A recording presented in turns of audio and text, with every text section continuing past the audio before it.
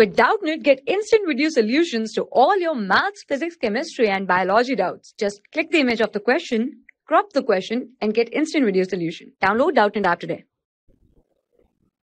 Hello student, here question is if the sequence of the one strand of the DNA is written as 5 prime TGA GC TA GC TA GC TA GC ATCG write down the complementary strand in the 5 to 3 direction. So as we know that what is the complementary rule? So if there is complementary rule that the adenine will be complementary to the thymine and guanine is complementary to the cytosine.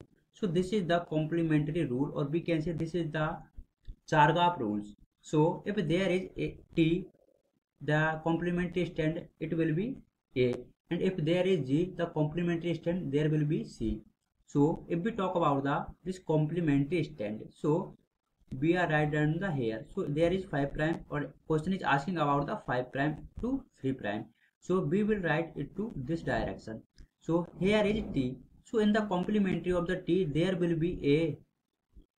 So here we can write there is it A. And another one second one is G. So complementary of G is C.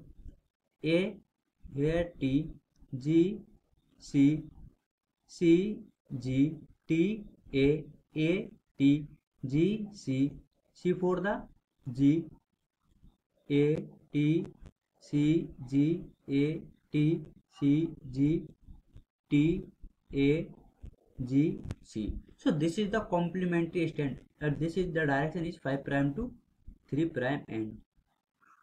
So this is the complementary direction. So in this question we need to don't only do need to there.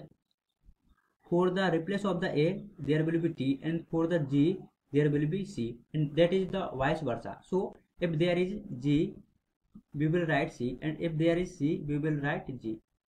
As such a for the t and t for the a. So we need to do only this thing in the complementary strand i hope you understand this solution. Thank you For class 6 to 12, IIT JEE and NEET level.